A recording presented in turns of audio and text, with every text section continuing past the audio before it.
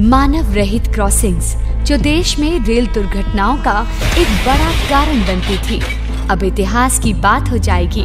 बीती सरकारों ने इसे प्राथमिकता से नहीं लिया। यही कारण है कि इसके कारण होने वाली दुर्घटनाएँ काबू में नहीं आ रही थी। लेकिन आम नागरिकों की सुरक्षा के मोर्चे पर प्राथमिकता से काम करते हुए मौजूदा सरकार ने सभी मानव रहित क्रॉसिंग को खत्म कर दिया है। साल 2013-14 में मानव रहित क्रॉसिंग्स के कारण कुल 214 लोग दुर्घटना का शिकार हुए, जबकि मानव रहित क्रॉसिंग्स को खत्म करने से इन पर रोक लग रही है।